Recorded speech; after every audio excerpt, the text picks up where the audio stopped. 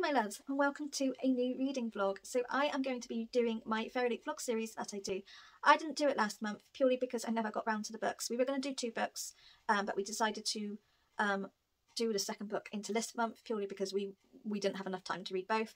I never even got round to the book we decided to read because I started a couple of chapters and I was like, I'm not in the mood.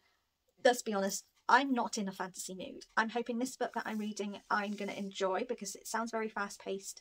Um, it's very different fantasy in my opinion so I'm kind of hoping that this will be okay for me because at the moment I'm just not in the mood. I am not in that I just want easy reads at the moment. I don't want anything that makes my brain work because I'm just not at that mental capacity to read something that makes me have to think and pay attention. I'm not at that stage at the moment. I've got a lot going on and yeah. Um, so we were meant to read Daughter of the Moon Goddess last month. I did start reading it and I felt it was extremely descriptive. Now I know with fantasy books and I know like books in series and like duology, duo duologies, um, I know we do get quite a bit of world building. It's usually like the second book in a series or duology that um, you don't, it's more fast paced. But I felt that it was too descriptive. Like I remember a vivid description about this China teacup set with tea and I was like, wow, like I don't think I need to know that like, you know, I don't mind so much the world or, you know, the magic system or anything like that. But this was just, you know, we had like really massive descriptions of what people were wearing, what they looked like, all this food, like, like you know, it wasn't even, it was descriptions. It wasn't like, you know, the smell of the food or anything like that. And I was just like, I'm not in the mood for this. And it just felt like those first few chapters I read was really slow. Lucy actually agreed with me. She said the first half was really slow, but what once you got halfway, things did pick up, and there was like a, and there was like a big cliffhanger, and there was a big twist that she wasn't expecting. I'm not in that frame to do that at the moment, and I have since actually seen very mixed reviews. Some people love this book, and other people didn't love that book purely because they said it was too descriptive and wasn't necessary, and they make the book very slow and very less actiony. Um, so eventually I'll read it, but it's it didn't happen in April and I don't think I'm going to fit it in at any other months because I'm not in the mood. I personally think I'll read it in my own time when I'm ready to. But for May, and Lucy's already finished this book and she absolutely loved it. She said it was brilliant from start to finish. And she said it was up there alongside These Hollow Vows, which is both a book that we both really, really enjoyed. And I think it's the only five star I've given so far in this series. But we're going to be reading Only a Monster by Vanessa Len. I think that's how you pronounce it. I'm really excited for this book because the vibes I'm getting from it sounds very similar to a TV series that I love called October Faction. Now, October Faction is also graphic novels. I think the TV series was based from the graphic novels, which I didn't realise. I just thought it was a TV series, but no, there are graphic novels. I'd love to get some graphic novels of them, but I don't think my local library does. So it's going to have to be a second-hand jobby if I can find them. But this gives me October Faction vibes because in October Faction we have this family. So two parents were like supernatural um, slayers sort of thing. So any like bad monsters, demons, things like that, they would kill them. Um, and the siblings didn't know, the children didn't know their parents did that. And then they realised that they had their like some superpowers. I think one was I think one could see the future. I can't remember now. I think I'm sure one saw the future or something. I don't know, but they actually have um, superpower, like supernatural powers. Um, and then they learned that their parents were like these monster slayers. And yeah, and this is what the vibe I'm getting with this book. So if it's very similar in that sense like October Faction, I know I'm going to love this. So I'm intrigued. Um, just to read what the synopsis is to remind myself and also just in case you don't know what this book is about. In every story there is a hero and a monster. It should have been a perfect summer. Sent to stay with her late mother's eccentric family in London, 16-year-old Joan is, is determined to enjoy herself. She loves her nerdy job at the historic Holland house, and when her super cute co-worker Nick asks her on a date, it feels like everything is falling into place. Then a Good Samaritan attempt gone wrong sends Joan spinning through time and her life quickly begins to unravel. Her family aren't just eccentric, they're monsters with terrifying hidden powers. And Nick isn't just a cute boy, he's a legendary monster slayer who will do anything to bring them down. As she battles Nick, Joan is forced to work with the beautiful and ruthless Aaron Oliver, heir to a monster family that hates her own. She'll have to embrace her own monstrousness if she's to save herself and her family, because in this story, she is not the hero so like I said, it does give me October Faction vibes. Um, I feel like there's going to be a love triangle here, which I absolutely love. And yeah, I'm very intrigued to see what monsters they are and everything like that. So I do think this is going to be a good book. And if it is very quick pacing, then I'm here for it because I do love a quick paced fantasy. I don't know whether it's multiple POV. Like if that is, I would be even more happier. Um, So we, we, it might be, I don't know. I'll let you know as I get into it whether um, it's just Joan's perspective or whether we get um, other people's POV. But I'm very excited for this book. I think it's going to be very good, and I'm hoping that this will be a very quick, easy read, and it might start getting me back into um, fantasy. So I don't know how long this is going to take me. I'm giving myself sort of like a week, um, but depending on how much I enjoy this book, it might be done in a couple of days. I don't have anything planned this week apart from today. Once I've done this, I need to pop to the library to um, give some books back, but also pick some books up. But other than that, I haven't got anything planned. Um, so I am going to go to the library now, and then once I come back, I will start this. It's not going to take me long. The library is about a 10 minute walk, um, so I'll be back by half them, half 10, quarter to 11, sorry.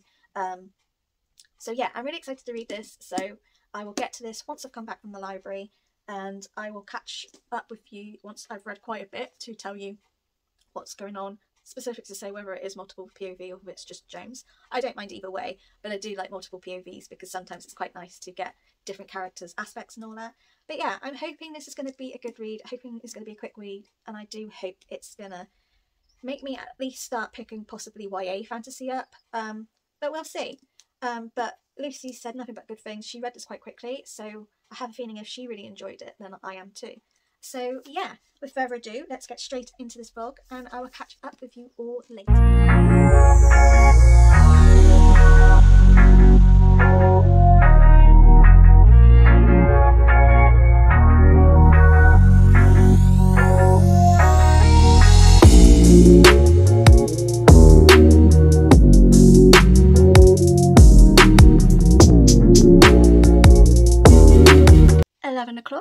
Said I'll be back by 11. I have done my library haul, so I went to pick up three books that were on hold and I ended up getting an extra four books. Um, so seven books in total, and a lot of them were big chunky hardbacks, so we love that. Um, but let me, hold on, let me get out of the bag. So the books that I picked up that were on hold was another Amanda Lovelace poetry book, which is The Princess Saves Herself in this one. Um, I have got the Witch Doesn't Burn in this one, and I haven't read it quite yet. Um, I also picked up another Lang Leav um, book, Sad Girls, which I can't remember whether this... Yes, this is actually her fiction book. It's not a poetry thing. I think this book is actually a large print. Yeah, it looks like a large print book, but I don't mind. I don't care. It's nice, big, clear writing for me. But yeah, this is her fiction book, and I'm quite keen because I love her poetry. So it'll be really interesting to see what her actual like fiction books are like. And then Nasty, which I'm so excited I got. Um, I was going to do a pre-order of this, um, but I changed my mind. I was like, oh, I'll buy it. And then someone started reading it, and I was like, oh, I'll just see if the library's got it because usually the most newest releases they don't have straight away. It's usually like sometimes like a month after it's been released or anything. Um, but I thought see, and it wasn't quite um, like in the libraries just yet, but they're all in transit to come in. So I managed to get Family of Liars by E. Lockhart, which is the newest book by her that follows from We Were Library. We Were Libraries, We Were Liars, which I absolutely adored. I thought was brilliant. Um, but this is technically classed as a prequel. This is about the parents, rather as in We Were Liars, it was the teenagers. Um, I'm not sure if it's the... Oh yeah, so it's the Sinclair family. Um, so in We Were Liars, basically, I, I can't remember what happened family-wise, but I think there was like a little... Um, like, so there was like a lot of these like really rich families basically who um, own this like island, like land, whatever. Um, I think there was like a big falling out. So some of the like families weren't talking. Um, the children all like sort of sneaked out to, um, or the teenagers all snuck out to hang out with one another and all that. And so one of the teenagers, like, she started um, dating someone. Long story cut short, to bring the family back together, they all decided to set alight one of like the beach houses. and um, nothing nasty, just to get attention. Um, but it backfired because basically the fire went too much, and one of the teenagers got caught and ended up dying. But we didn't realise. So throughout the actual story, we had this girl's perspective, and it was only until right at the end that we found out that this girl was actually dead um, but she didn't realise. She thought she was real. She didn't actually realise that she was a ghost. Um, so it was a, such a brilliant ending. Like I did not expect it at all, and it was one of the best like thriller reads that I read in a while. Um, so I was really excited to see that there was a prequel. So this follows the Sinclair family, and I think it basically explains about these families and what went on and everything like that, and how like they come across this like land and this island. So I'm actually, I really want to read it now, I'm not going to lie, but I'm actually going to save this to read as a summer thriller for one of the prompts in Whatever-a-thon, um, because this technically is set um, on a private island off the coast of Massachusetts. Um, and basically, it's set in the summer, and also their island is a beach, so it's definitely a summer thriller. And I'm so excited to read this. It's going to be hard not to pick it up now because I've had really good things about this. Um, but I was really glad to see that my um, library, like, it literally, they were all going into transit, and Cleveland was one of them, so I was so happy. And then the four books that I, like, I just browsed because I thought, I'll have a look. It was quiet, so I browsed, and then I ended up finding four books. Um, three of them are actually on my Amazon wish list, so I was quite glad to see them there. The other one I used to own. I'll talk about that one now, actually. So I've got Normal People by Sally Rooney. Now, I used to own this book, and I unhauled it because I basically hadn't read it for like a good old year. And also, when I did try to read it, I noticed that there wasn't very um like the people like had conversations. There weren't any speech marks, and I was just like, I don't like that. It just felt like there was no like like this person doesn't like know their grammar. I know it sounds strange, um, but I went to unhaul it, and my mum always has a look at books before like we give them to charity and stuff like that. And she picked this up, and it wasn't for her, but she said, "Oh, why are you um unhauling this?" Um, purely because like it was a really brand spanking new book, and I was just like, "Oh, it's not like to me, it hasn't really got any grammar in, and I just it, it would annoy me." And so she read the first like page, and she was like, "Oh, to me, it reads like a diary, like."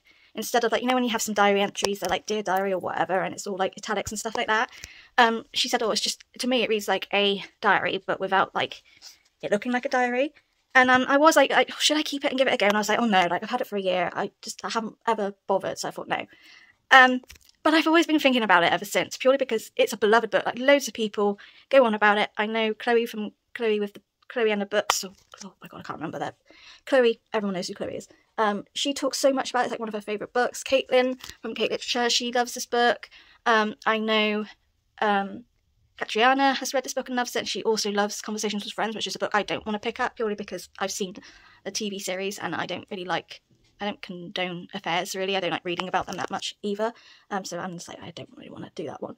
So I thought, you know what, it's at the library, let's give it a go. If I don't gel with it for whatever reason, then that's fine. It's a library book. Um, it hasn't cost me any money to get it.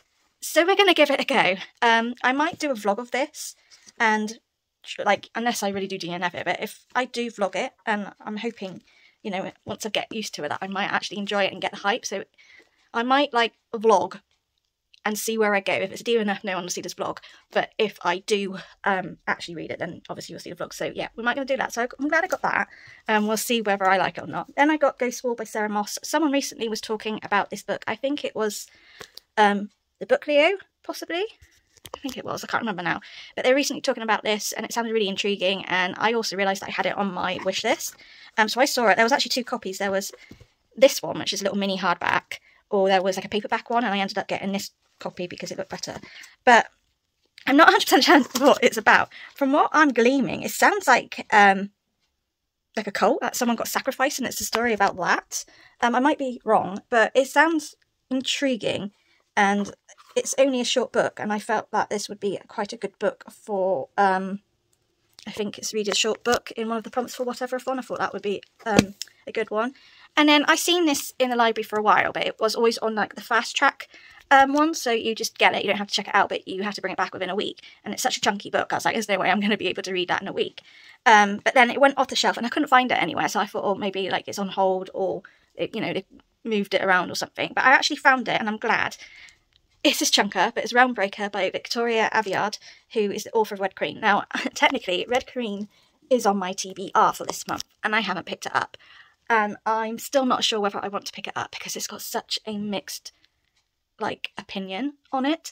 Um, so if I'm kind of like, I don't know if I'm going to like it or not, but a lot of people really like this book. I've heard a lot about this book. A lot of people like it, and when I've like read the synopsis, it sounds more my jam. Now, here's me saying in my intro that I am not in a fantasy mood because I haven't read much fantasy, and I picked up a chunky, like, it sounds like a bit like a military fantasy too. Um, but we're going to ignore that again because, you know, I might get back into it. But yeah, I've got that. It's a chunky book, um, but I think I might enjoy it. it sounds good. And lastly, um, I didn't think they'd have it here.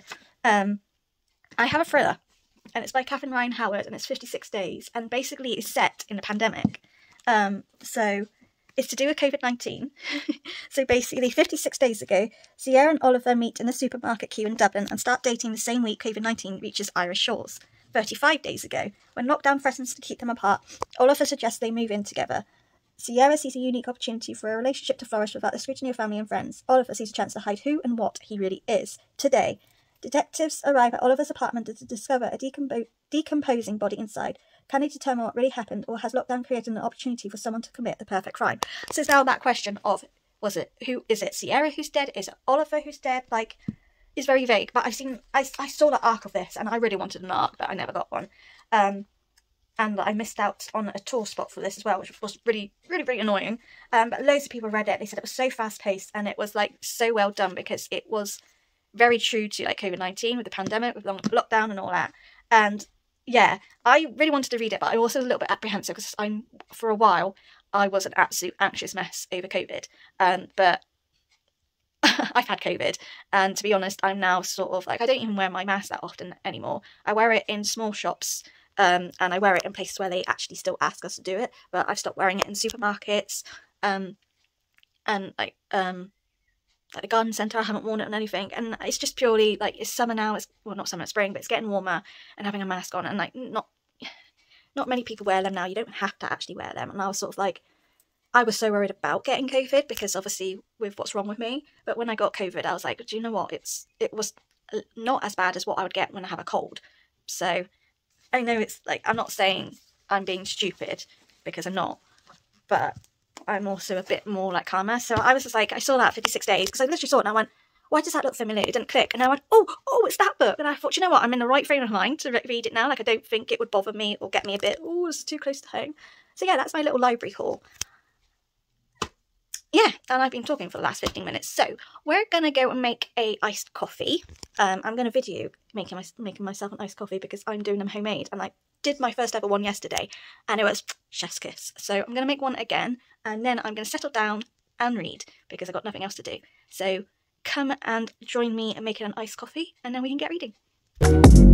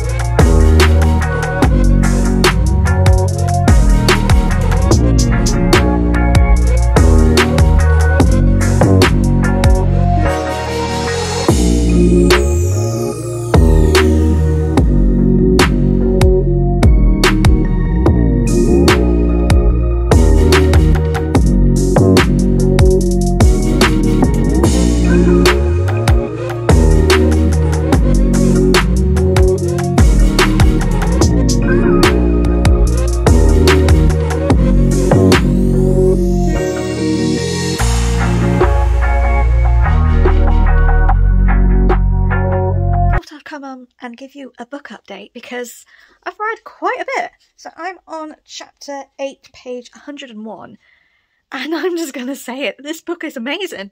I, I can see why Lucy read this very fast, and honestly, I don't think this is going to take me long to read because it's very hard to put down. It is extremely fast paced. It is very dark. Like, this is a YA. I'm assuming it's a YA.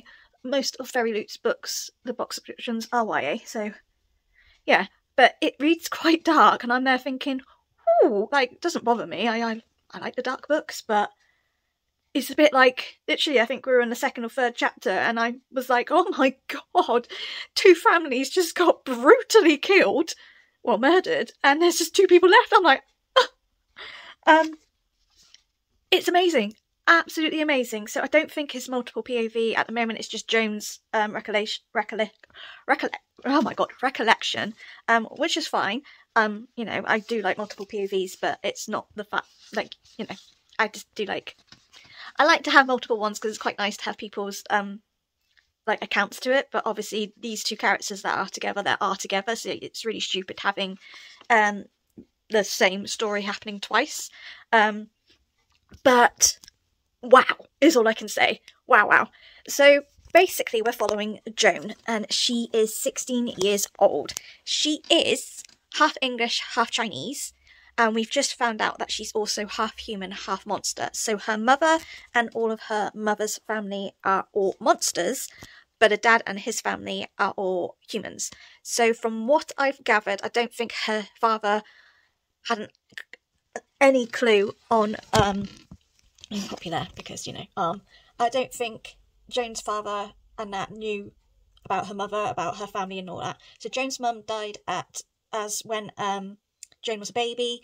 Um so she doesn't know anything about mum, but obviously she goes to visit her mum's gran and she's got her cousins and aunts, so you know, she's very much um still part of her mum's family.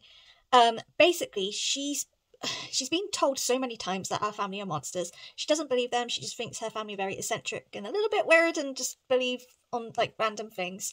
Um, she has seen some peculiar things, like her families have sort of um, made things disappear. She's made something disappear, and all of that. But again, she's been very young. She's like doesn't believe in anything.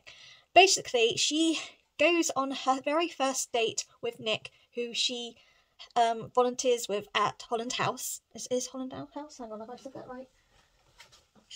Bear with. Yeah, Holland House. Um, so she gets all ready to go to this like breakfast date with Nick. Um, they both volunteer at this Holland House, which is like a museum and everything. Um, so she gets there quite early. He's um on his way. He's early too. So she's gone to this coffee house.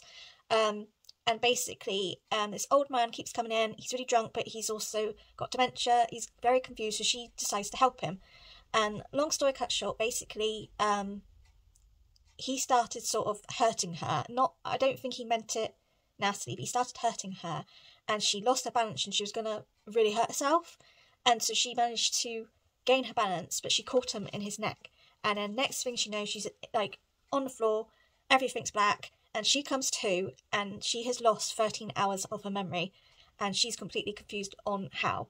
She then realizes that actually she hasn't lost her memory. She has gone from like day to night. So she um obviously misses out on her date um and she's like what the hell's gone home gone wrong. So she goes home because she's staying at a grand's and like summer holidays she stays at a grand's every year while her dad's gone to um Malaysia to see his family and all that. Long story cut short, her grand tells her that she is a monster and that when you touch humans behind a neck, you can um, gain time from them and you can move in time, move back in time, whichever way. However, whatever you take from them time wise, so say you've taken three days worth of time, they would die three days earlier. And she was like, no, no, no. And then like she learns things started making sense, like with her um like her cousins and her aunts. Like one minute they're like there and next like, you know it starts making sense and she's like what the hell like basically she's like she did like she's taken like however like i think she's taken i can't remember how long she took of this man and she's like you know i made him die early and all that and so she's like having a full-on panic mode she ends up not being able to sleep she finally sleeps from like i think half past seven and she wakes up at half past three in the afternoon um she talks to ruth and she says like she says to ruth why didn't you tell me and um she said we did, but you you you thought we were joking. Like what are we meant to do? Um, anyway, so she goes to Holland House and she sees Nick and she sort of wants to apologise because she's missed her volunteering thing as well. But she's also very much like, I can't be with you because if I touch you by accident, you know, I'm gonna thing. Anyway, they start talking, um, they kiss, and then all of a sudden, these people just appear at Holland House and they're like, what the hell? Like no one comes after hours and all of that like it's like a private property and all that. And they were also like these people have just like randomly appeared through thin air. And um joan re- recognizes who they are. They're like oh this is this i've seen them before. And sh- so they're the um oliver family. Um, basically, they're like sort of royalty in some sense, but they're another monster clan. And both the Olivers and Hunts are like, oh, like do not like each other. They fight each other and blah blah blah. So they all turn up and they find um Joan and Nick. So at first they thought they were both humans. Specific, like obviously Nick is, but then um the like leader realizes that Joan is um half human, half monster, and that she's just um done um done like a time travel sort of thing. Anyway, I, I don't really know why. So the Oliver clan are definitely monsters. They're very cruel. They're not nice at all. Um, specifically, um, Lucien and Edmund. They're like you know everyone is so scared of them that they do what they want. So anyway, they go and basically we're going to kill Joan and take Nick as a hostage so they can um bleed him to death with like time and take like you know slowly make him die and all that. So Joan tries to protect like goes to protect Nick and then she gets hurt. Um, and then she, then it just roll, rolls reversed. Nick all of a sudden then started fighting. Turns out that Nick, which we obviously knew in the synopsis, but Nick is a monster hunter. Him and his fam well, his family were brutally killed um, by monsters, and so he's sworn himself to be a monster hunter. So he's called his team to come and take out the Olivers, and he's found out that obviously Joan's a monster, so her family are monsters, so he's going to take them out as well. And he said, "You stay here, and I can put you in a safe house. I can protect you because, like, you know, you saved me. Um, it's the first time you've taken time from a human. It was an accident. You didn't know, but like, if you ever do it again, I will kill you." She's obviously pleading to him, saying, "No, you cannot kill my family. Like, my family is my family," and he didn't care. So she managed to flee. Um, she did some killing. She managed to flee back home, and literally, she's the whole of her family, apart from her Gran, who is like near death's door, and Ruth, who's one of her like is like her eldest cousin. They're there. Um, basically, Gran tries um wants Ruth to do something, and so she was like um so Joan was there like trying to stop her from bleeding out, but obviously not working. And Joan's Gran tells her, "You're not just half monster. You have a special power that no one knows. Um, it no one else has. So like obviously, it's very clear that she's quite special. She's very powerful, and only she." can kill the hero, which is Nick. Um, and Joan's Gran gives her a necklace. So she's got a bracelet which has got a symbol on there which shows that she's from the Hunt clan, blah blah blah, which is why they knew she was why the Olivers knew she was um like a monster. Obviously they realise that she's half human as well. Anyway, um and then she's she's got this necklace, so obviously this has got something to do with something. Um so she ends up um escaping her house, her Gran dies and her Ruth ends up um, getting killed too for Joan to escape. And so she runs and runs and runs, and then she finds Arthur, who's just about to get killed. So she just she was like, enough, I'm not having any more die, regardless if he's an enemy, and left her to die at the start. So she attacks a person, and and then he they both like I don't know whether he just gets knocked out or whether he's dead. I can't remember. Long story cut short, Arthur and um, Joan are now teaming up to sort of try and do something because obviously there's like this thing where if you have like a debt with another monster, like you have to make yeah, basic. It's very similar to lots of fantasies. Um, if you owe someone a debt, like you know you're with there's like some like sort of like bond there until the debt's owed, blah blah blah. So they're sort of working together. Um, they've now just realised that they are the only two people in their families that are alive. Um, Joan's now like realizing shit. I am half monster. I don't know what to do, and I am now being dragged in the sense that I have to use these monster powers that I I don't know. Like she doesn't know how to time travel and all of that and things like that. So Arthur, bless his heart, is like teaching her. Um, so they've just gone to Buckingham Palace, and they're being tourists Arthur's told her that you don't take it just from one person because um, both the human authorities and the monster authorities would, don't won't like it. So you literally take a little bit from like so many different people, and it accumulates to things. So basically, they are trying to go back 20 years later to change what's going on. Um, Arthur is very confused of why this is all happening because apparently the Oliver clan had like this book and it tells you when you're going to die and all of that. Um, and obviously the whole of his family's just got completely brutally murdered and it, nothing was said. Um, so they're like obviously wanting to go back 20 years later because they can't go back in time to where they were, like where they are. It has, yeah, I don't understand that part. Um, but the um monster hunters, they just found them, so they've literally just like, like going time traveling to somewhere else so they can get out of the situation. So I'm not hundred percent sure whether um the plan is to go back twenty years later to change what's just happened or what. I don't know. Um, but yeah, but the banter in this book is absolutely amazing. Arthur he is just so funny. And I love like the dynamic between Joan and Arthur. Like they both don't like each other, but they both like will snap at each other, and they can't help doing it. It's it's sort of one of those things like you could like I kind of feel like they're going to be enemies to lovers. Like whether this has a romance plot in it or not, I don't know. But I was, I've just sort of gone, ooh, I like this. Like I can't stand Nick at all.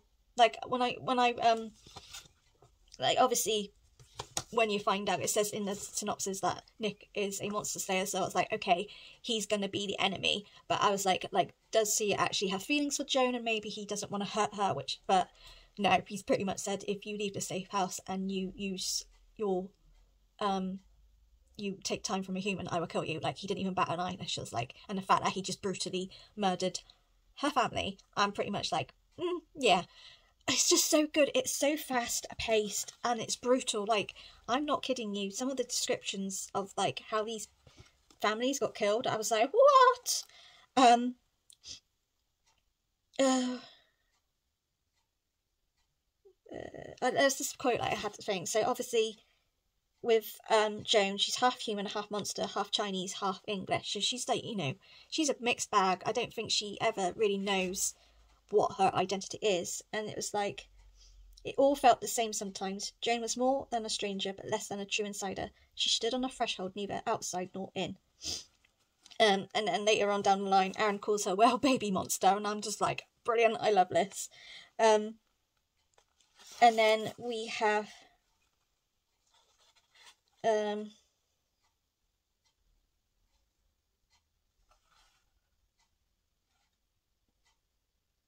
I don't know why I put this one down. Why did I put this down? Oh yeah. Um, there was another quote here. It was like, um, in movies, heroes killed monsters all the time. When a car- when the camera moved from the monsters' bodies, you never had to think about them again. But when you were the monster, when the monsters killed the, when the monsters killed were the people you loved, dot dot dot. And I just thought, oh yeah, it's really like it makes you think because like you're so much believing that monsters are baddies and all that, but you're meeting Joan and her family, and they haven't done anything nasty. Like the Oliver family, to be fair, are monsters. They're very cruel and nasty.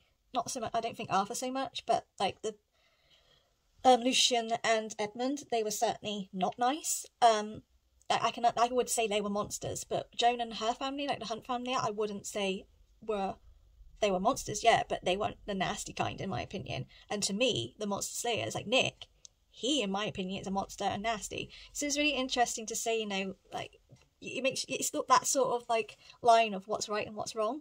And um, I really love that. I'm so enjoying this book. It is just it's brilliant, and I don't think it's going to take me long to read. I genuinely think this is going to be a book that I can read. Like to be fair, if I could, I'd probably read it to, in like a whole day of today. But I do have um like I need to pick Alice up from school soon, um, and I'm Silent Witnesses back on.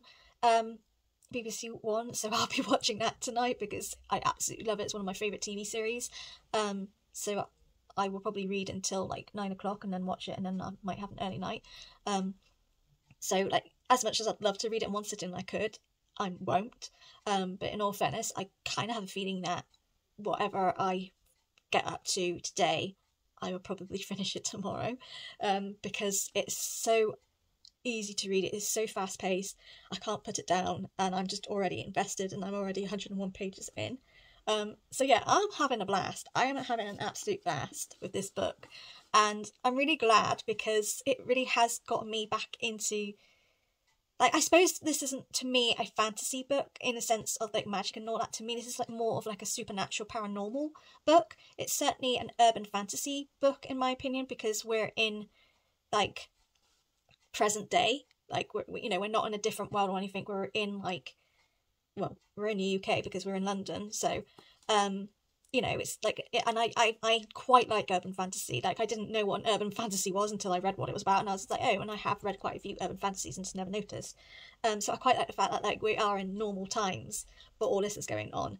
Um so I wouldn't say this is fully fantasy in the sense that we've got like fae magical elements and stuff like that. It is more of a you know, we've got monsters, which I would say are more supernatural paranormal beings, and yeah, I'm really enjoying this. Like I I think I'll even love it even more if we do have a little romance section as well. Like, like that would be quite nice, but I, it has to be done in a good way, not a stupid way. Um, but yeah, I am already loving this, and if it continues on like this, then this is going to definitely be a five star. Um, but yeah, I'm going to read a little bit more, um, and then I have to go and get Alice from school. So hopefully I can read a bit once, like when she's home, because she'll just play and that I can read while she plays. But we'll see. Um, but I don't really want to not read it because it's so good. But I will probably catch you up if I reach halfway, I'll give you another update. If not, I will catch up with you tomorrow and I'll let you know my plans. But I honestly feel like tomorrow I will probably finish this book at some point um, because it's too good to not devour it. Um, but yeah, I will, catch you up later if I do reach the halfway up, like halfway point sometime today. I'll update you then. If not, I'll update you in the morning and go from there. Um, but yeah, I'm gonna. Woo!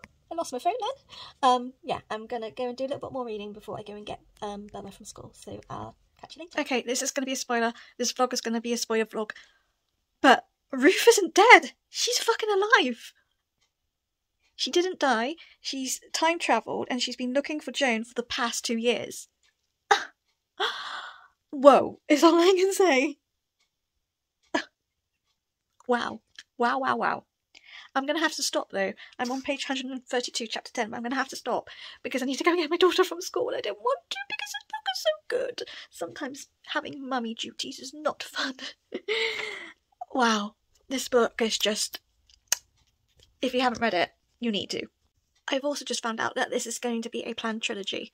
So clearly, this is going to end in a cliffhanger, isn't it? No, we can't end things in cliffhangers, especially when books two and three aren't even out. No. I don't I don't like that. I don't like waiting. If it ends in a cliffhanger, I'm gonna be so pissed.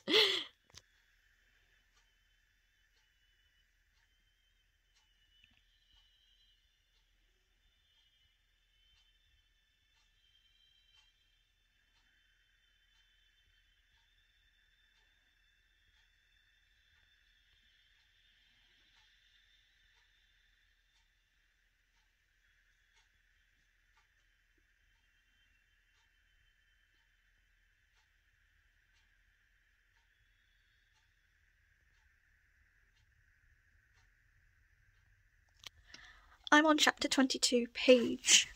Oh god, I forgot now. Where am I? Page 321. I need to pick Alice up from school in like five minutes. Shit's going down. I am this close to crying. I don't like this. I think we've just found what. I think I've worked out what um, Joan's power is. Aaron's in love with her, and he knows that she's going to change the timeline and she's not ever allowed to see Aaron because Aaron knows who he truly who Jones truly is, and I'm not ready for this because I really like Aaron, and I'm like, no, they should be together, and I'm gonna cry. So we're gonna stop, but I am like this much from the end, so I'm gonna pick my daughter up now. She's got rainbows, so once I drop her off at rainbows, I've got till half past six because they're doing a jubilee party today. Um, so I'll finish it and I'll tell you my thoughts. But shit is going down, and this is the best book ever. It's five stars, and if you haven't read it, you need to bloody read it because it's amazing. But yeah, I will catch up with you, and oh my god, my hair looks awful today. Sorry, rude. I'll catch up with you later and give you my final thoughts and everything because wow, just, just, just wow. oh my god. I don't know how I feel about that. Oh, oh, I don't know how I feel about that. 344 and 345, if you've read this book, you know what I mean. And just like that, the book is finished.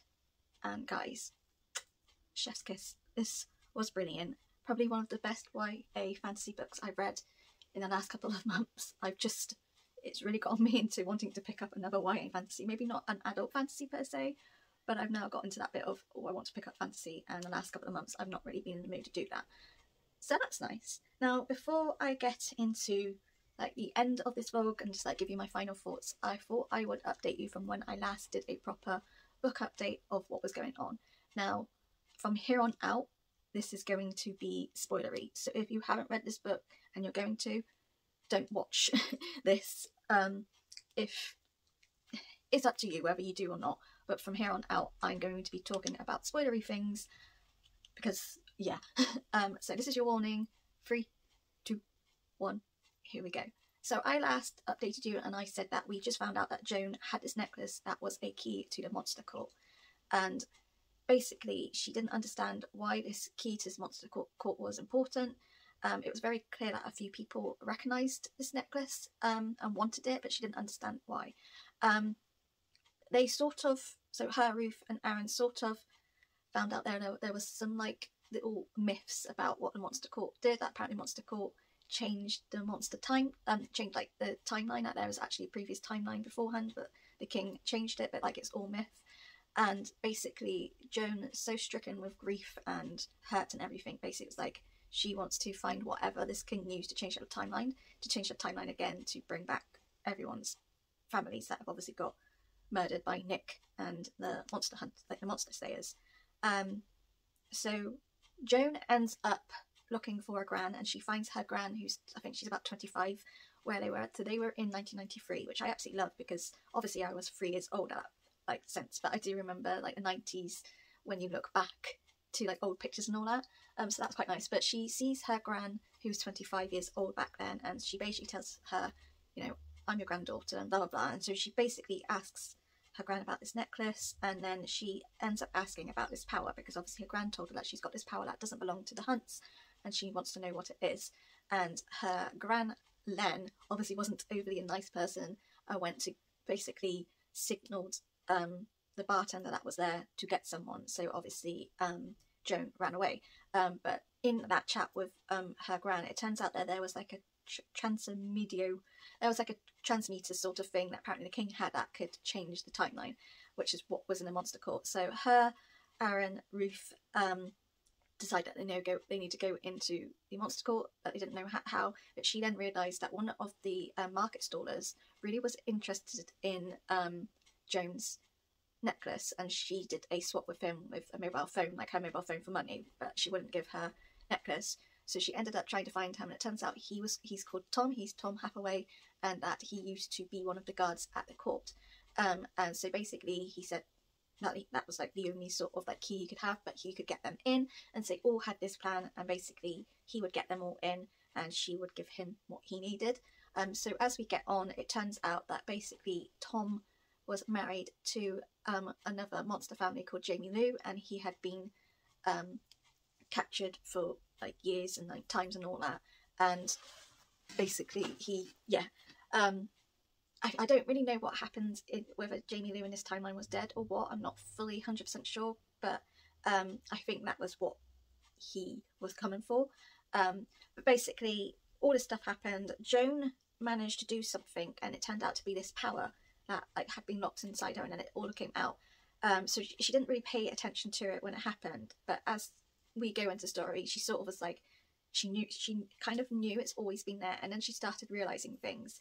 So basically joan so the monsters have more than one family and usually when they're um, 12 years old they go through this process and it sort of tells you they look into like which powers you've got to which family you reside. So for aaron, um, aaron he started at nine because they noticed things but basically Aaron managed, like, obviously was like, yes, you're part of the Oliver clan, but he also had a very rare power that the Olivers have, um, but not many have them, where they not can actually determine if um, a human is a monster, but he also can tell which monster family actually belongs to.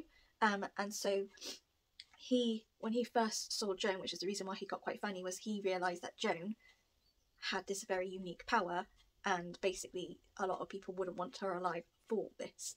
Um, which is why he was sort of like very much a, Ugh, but then I think he also started to have feelings for her as well. Anyway, um, but apparently if Joan was told that she was half human, half monster, and Joan went through that, I think we would have seen that Joan would have been with a particular family. I don't know which family it is or whether it's like a completely different family that no one ever knows about.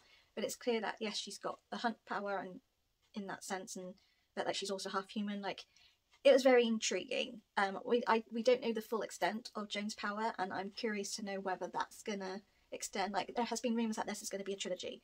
Um, I have seen on Goodreads that there is book two and book three and says untitled, so I'm guessing there probably is. But for now, because this book was only released this year, maybe the author is waiting to see how good this book went or something. I'm not 100% sure, but there's rumours to say there's going to be a trilogy. So in that sense, I'm wondering whether Joan's powers will possibly get more talked about in the books going forward. I hope so.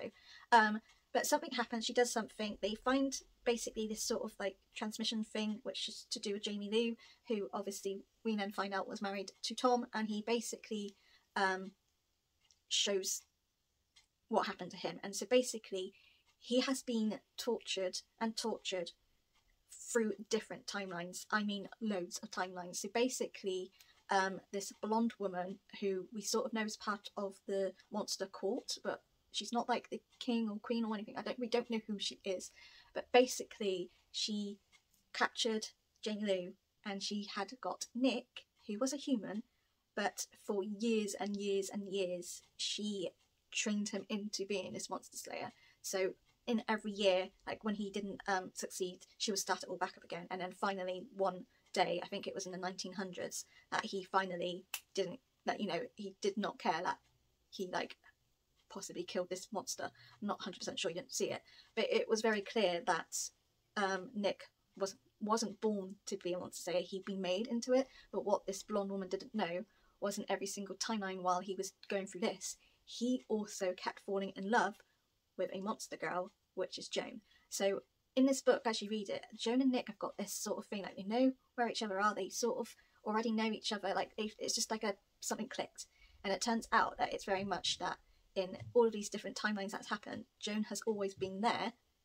It's sort of in some sense, you know, when you have star-crossed lovers and forbidden romance, and you have a thing that they're like you're always drawn together. The universe sort of tries to bring you together, but you can never be together for whatever reasons. It was that. So basically, um, we find that out and Joan obviously realizes by this point what her power is, what she can do, because what they the woman, this blonde woman, didn't know was Nick's Achilles heel is Joan, and Joan got told by her grand that she's the only person who can get rid of the hero, and it's clear that she can because his Achilles heel is her. So she ends up finding all this out. She ends up realizing what she has to do.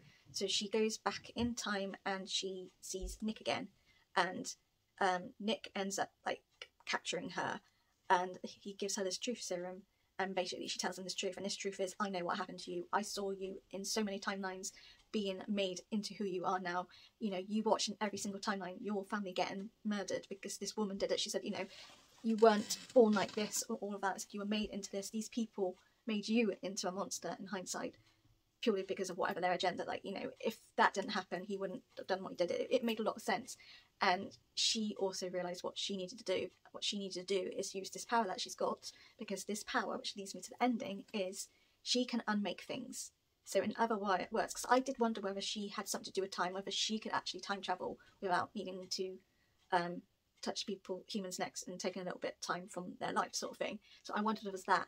And in some sense, yes, she can change the timeline per se because she can unmake things, and so she gets captured by um, Nick, and like she says all this truth. He doesn't believe her. While she's talking to him, she unpicks all of these locks to get free.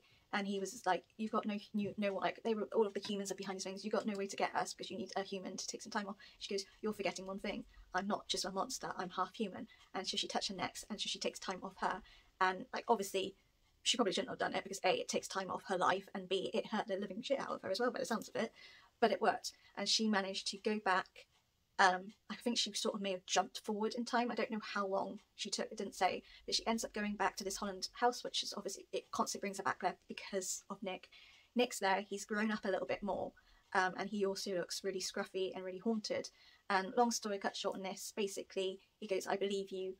You know, after seeing what happened, after what she's like what Joan said, he realised that yes, they've been in different timelines, that they've always been drawn together. He said like he went the first day I met you, like in their actual timeline they like they first met. He said, "I knew what your voice sounded like before you even talked. I knew what your tea, you like how you liked your tea before I ever even saw you do your tea and stuff like that."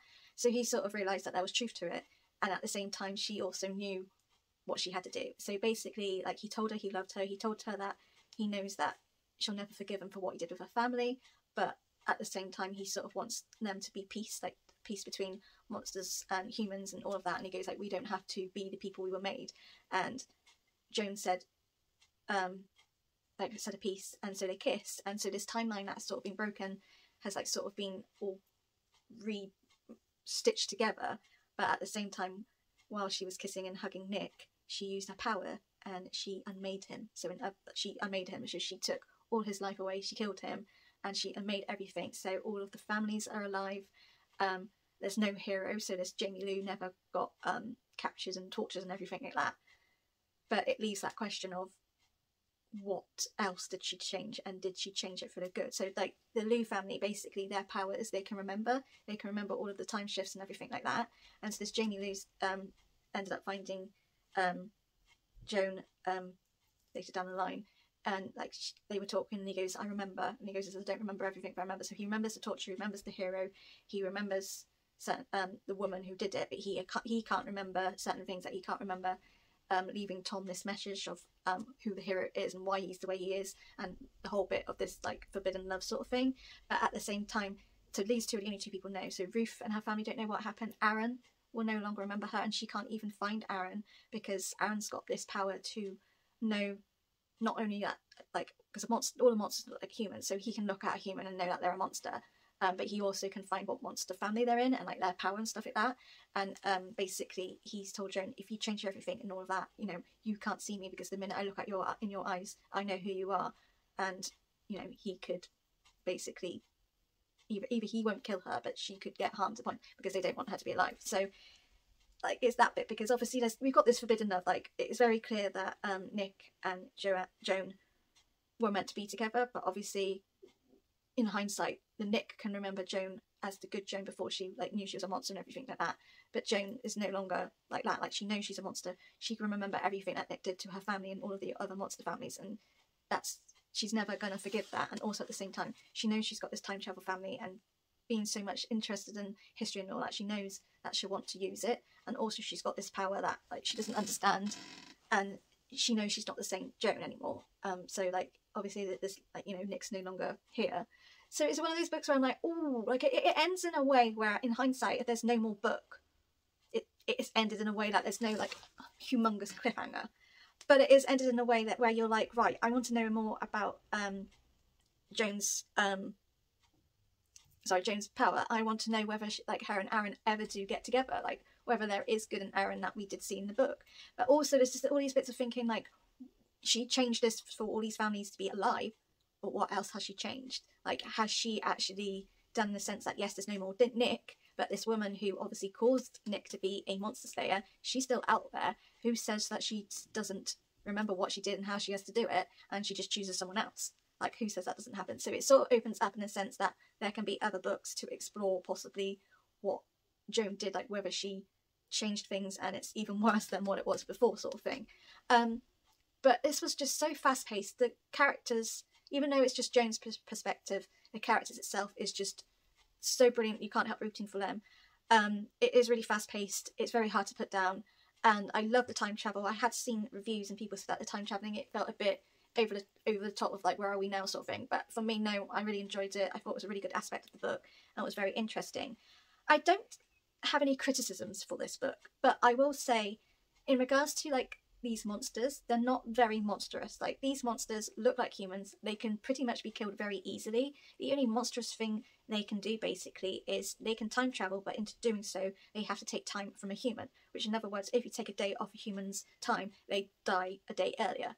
But it's also that sort of thing. None of these humans know when they're going to die. So, you know, and they can't feel any pain. They, they don't know if they're going to die. Like if someone touches their neck and they do it for so long, and they could possibly kill that person then and there. But a lot of these monsters don't do it because there's like monster um, laws in place where they can't do that. Like the human laws have this thing in place too, even though they don't know there's monsters. They sort of are aware that there's like a sudden drop of people like dying. and They'd be like, why, sort of thing, and they'll look into it. And obviously the same with the monster police force sort of thing.